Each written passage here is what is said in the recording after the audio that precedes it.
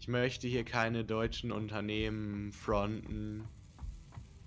Aber. Deswegen sage ich jetzt nicht, welcher Stromfirma das ähnlich sieht. Riesig lange Stromtrassen durch irgendwelche Wälder zu ziehen, ohne irgendjemanden vorher zu fragen.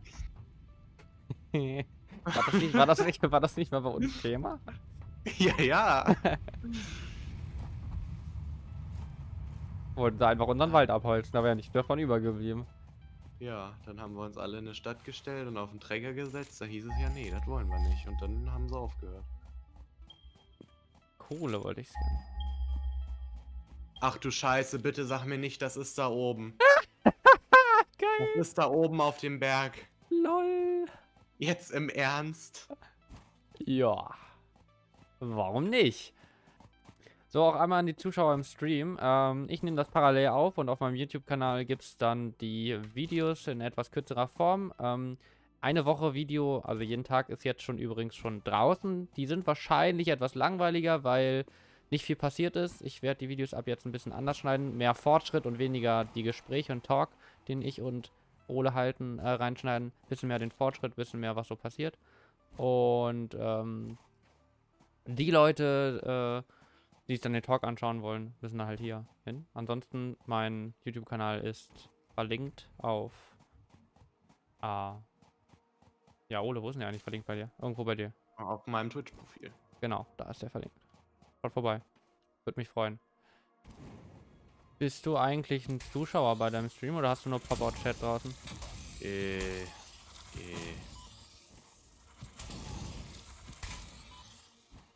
Nee, ich habe das Twitch Dashboard offen. Wenn man da als Zuschauer gilt, dann bin ich auch noch Zuschauer.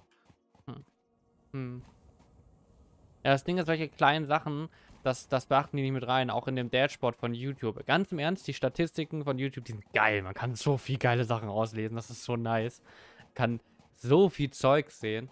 Das ist richtig hilfreich so, aber das Ding ist, es ist ungenau bei kleineren Zahlen. Das hat so Abweichungen von 5 Viewer oder so.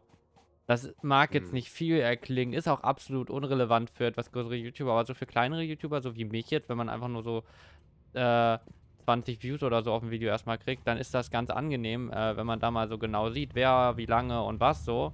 Ähm, also wer sieht man nicht, wirklich. Ja, ja, aber. Aber trotzdem ist halt schon ein bisschen angenehmer, aber das ist halt schade, dass die darauf keinen Wert legen, das ein bisschen ganz, also so ein Stückchen genauer zu machen. Ähm, also die Viewerzahlen, das stimmt schon, aber es gibt so halt generell so die Statistiken, da, da widerspricht das eine dem anderen. Weißt du, da sagt Ja. Zuschauer dieser Woche äh, maximal irgendwie nur, nur, keine Ahnung, drei oder sowas und dann Zuschauer vom letzten Video steht auf einmal zehn. Also das, das macht zum Beispiel keinen Sinn so manchmal, aber äh, Hm. das ist ein bisschen schade, aber das ist absolut unrelevant für größere YouTuber, deswegen ist das auch eigentlich egal, ne? Also für den Anfang ist es halt so, aber deswegen, was ich worauf ich hinaus wollte, ob du jetzt als Zuschauer zählst oder Peng, ist halt nur schade jetzt, damit man nicht die wirkliche Zuschauer kennt, aber Ja. das ist halt, jeder Zuschauer zählt man jetzt halt wirklich irgendwie mit, ne? Äh, wenn man, wenn man so klein ist, aber wenn du einfach, keine Ahnung, so 300 Zuschauer hast oder sowas, dann jucken dich 10, 15 Zuschauer absolut nicht. Also, denke ich Ja. mal. Also, ich meine, das ist schon schön, wenn du 10 oder 15 Zuschauer mehr oder weniger hast, ne? Also, mehr halt in dem Fall. Hm. Aber ob das jetzt nun so ist oder nicht, ist jetzt, na. Wichtig ist es jetzt nicht. Denke ich mal. Ja, leider Gottes. Hast du eigentlich deine Verteidigungswaffe dabei? Nein. Ich schon.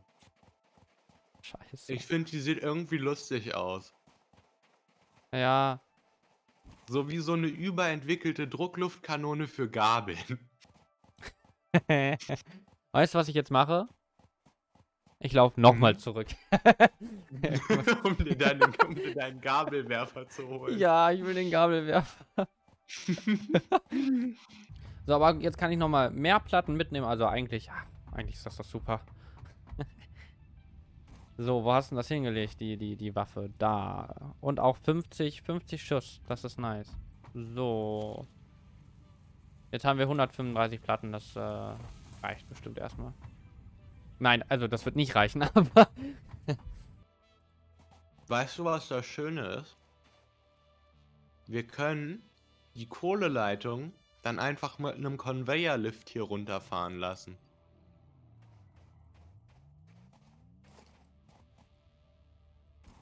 Stimmt. Ja, geht das überhaupt so lang?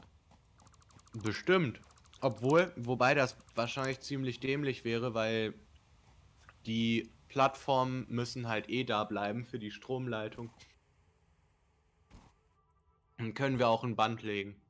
Kommen wir am Ende aufs gleiche raus. Mhm. Band ist teurer. Nicht Weil wir, hier so, weil wir hier so kreuz und quer laufen. Hm, Nö, will ich nicht behaupten. Soll ich dir erklären, warum? Warum? Band runter und dann Mm. gerade Conveyorbett. Und hier bauen wir diagonal kreuz und quer. Ich muss mal kurz auf eine kleine Dora the Explorer Tour gehen. Weil. Äh, ich glaube, ich habe einen besseren Weg für unser Band gefunden.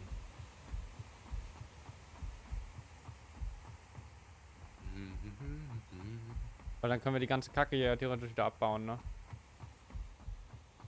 Also wenn der Weg, den ich hier habe, besser ist, ja. Weil ansonsten muss die Kacke halt eh da bleiben für den Strom. Weil dann kann man die ja Schnecken. direkt, weißt du, was man machen kann? Man kann die ja direkt über den ganzen Berg einfach gerade rumlegen und dann ganz am Ende da auf unserer Seite einfach Conveyorbelt nach unten fertig. Und zwei, drei Plattformen, so weißt du? Hä, wo bist du denn hochgegangen? Wie vor allem? Ich bin bis zum Ende von meiner meinem Dingens gelaufen. Ja, aber ich bin einfach noch im Wasser. Ich glaube, du bist hier lang gegangen.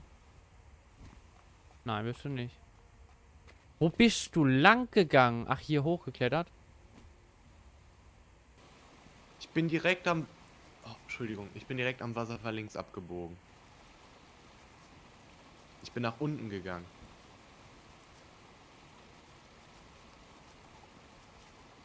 Absolut kein Plan, ey. Ich bin hier gerade... Komm, komm mal zurück zum Wasserfall. Ja, okay. Weil wenn du da lang läufst, dann läufst du doch theoretisch einfach nur nach unten, oder nicht? Nee, hä? Als ob du da lang gegangen bist. Geh halt hier so rein, aber... Ja, weil komm mal mit. Ich zeig dir nämlich mal, wo das hier hinführt. Es ist hier schon ziemlich steil. Das ist mir beim normalen Gehen gar nicht so aufgefallen. ja. Ah, wie hoch man einfach springt. Jui. Oh, fuck. Na, Spinne? Wo bist du, hä? Alter, was ist die denn so schnell? Ja, deswegen haben die auch Dodging-Hacks. Pass auf, die rennt hinterher. Oh, ich habe halt vorbeigeschossen. Oh nein. Ich habe nochmal vorbeigeschossen. Oh. Alter, wie viel Platz hier oben ist. Einfach hier Produktion bauen.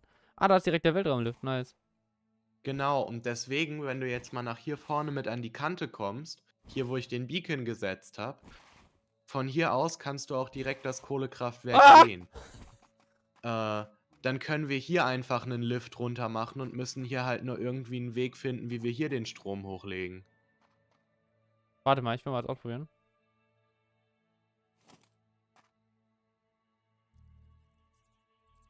Ich habe gerade keinen Mast. Fuck.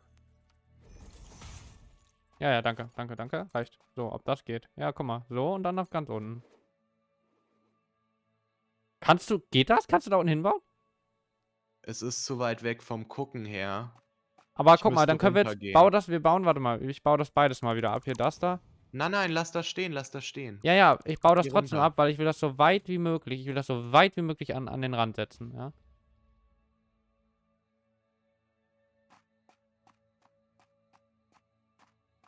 Aber bist du gerade beim nach unten gehen? Ja. Ah, okay.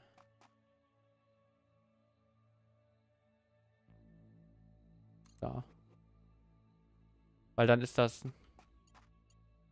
Kann da überhaupt so viel über eine Leitung rübergehen? Gibt es da nicht eine Limitierung pro Leitung oder so? Gibt Bevor wir uns jetzt komplett verschätzt haben, ne? Ja. Ich scanne jetzt nochmal nach Kohle und guck, ob die wirklich hier oben ist. Die ist da oben. 700 Meter weit weg von hier. Oh, die ist wahrscheinlich ganz oben, ist die wahrscheinlich. Safe, oder? Ah, da hinten ist aber ein Weg, da kann man hoch. Geil. Hoch. Ich reiß jetzt schon mal die alte Stromleitung ab. Aua. Lol. Fliegt mir halt einfach vors Visier. Hm.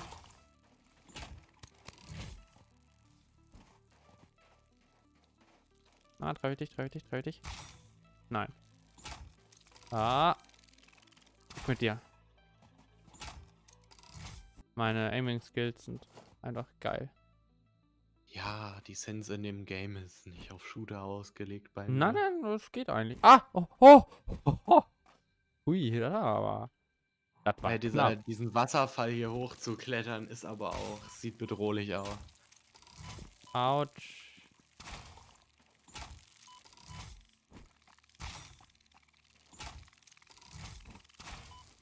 Oh oh. Oh oh oh oh oh oh oh oh Uiuiui. Oh oh oh oh oh oh Was ist oh los? oh oh ah Nein, warum klatsche ich denn?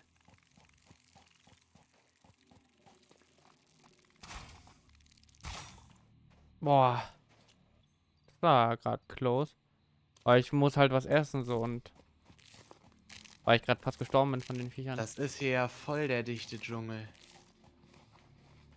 Wo bist du denn da? Ich gehe auf der linken Seite lang, weißt du?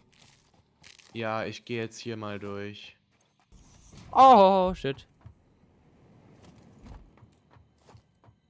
Ich bin hier halt gerade wirklich nur so casual langgelaufen, wollte durch... Schon wieder. Also so leid mir das tut, aber hier ist alles radioaktiv. Was ist denn los mit dem, ey? Was hat der denn für ein Aim? Ich habe acht Supercomputer gefunden. Oh, ist das jetzt schon hilfreich? Eigentlich nicht, ne? Aber es ist gut. Ich kann einfach keine Schrauben mehr einpacken, mein Inventar ist einfach voll.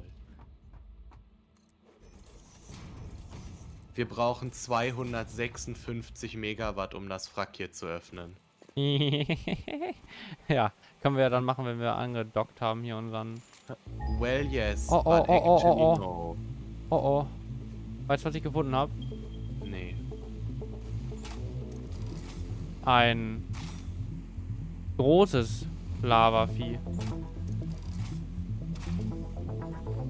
Das ist unvorteilhaft. Ich habe ein zweites großes äh, Dingensvieh gefunden und ich habe so gut wie keine Munition mehr. Und das ist eine Gruppe aus zwei großen Dingensviechern. Junge, was aimen die Dinger denn so gut? Ah! Okay, die großen Dingensviecher sind genau auf der Kohlequelle.